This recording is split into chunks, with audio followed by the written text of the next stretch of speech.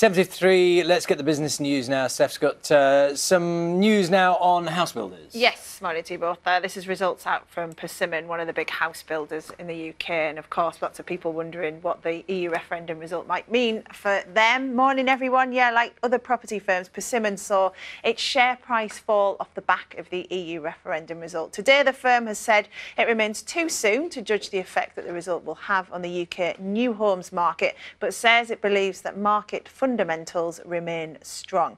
Well, with me now is Kate Faulkner, who is a property expert. Morning to you, Kate. Morning. So they had results out this morning. They said that the trading for the first half of the year has been strong. What did you make of the results? Well, they're absolutely right. We've had a phenomenal market for the first six months of the year. Um, bizarrely, we're kind of um, bereft this year with political changes affecting the property market. And the main reason it's been so strong is because we had the increase in stamp duty for second home buyers of 3% from the 1st of April. That meant we had the most phenomenal March that we've seen for donkey's years. Um, so we have seen a good uh, six months. We're also seeing quite a recovery from the recession. So you've got London, Cambridge, you've got Reading, double digit figures growth at this moment in time. People very confident.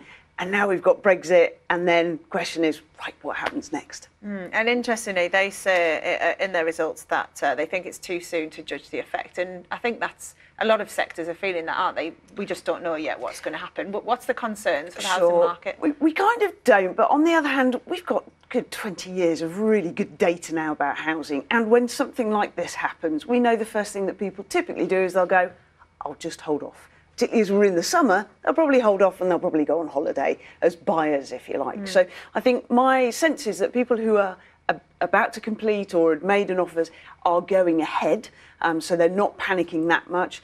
Um, we know that um, people are still taking mortgages and they're still remortgaging, and, and, so the market is still moving a week on.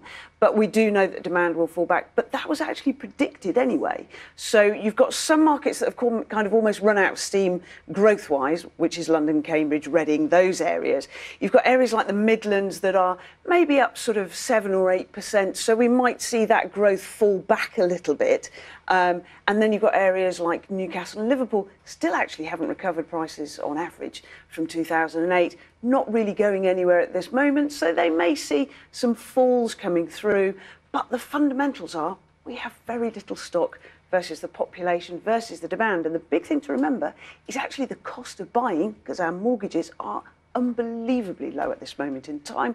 So it's all about the cost of putting a roof over your head, renting versus buying versus maybe staying at home with mum and dad. Do you think this means anything for house prices then? Do you think we'll see any change there if there is that uncertainty and a kind of pullback of people buying for a bit? Yeah, well, actually, that, that, again, that was already predicted that we would see a softening of the market in the in the second half of the year.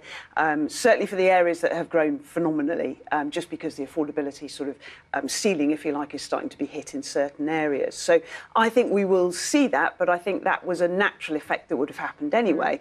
The big question is how quickly it will all bounce back? And will areas like the Midlands, the North, will they start to see the kind of growth or anything like the growth that we've seen in the South or the Southeast, or will it stunt it? And I think we're looking at a slowdown and a slowdown in growth at this moment in time where you see crashes and price falls is when you get credit crunch issues. So if we start seeing jobs disappearing, if we start seeing mortgage rates rise for whatever reason and the cost of buying rise, that's when we're going to start seeing the market to really stall and affect people's yeah. kind of daily lives. And at the moment, we're not seeing that.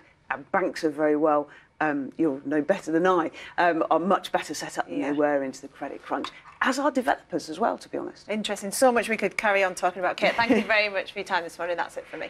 Steph, thank you very much. See you later. Thank you.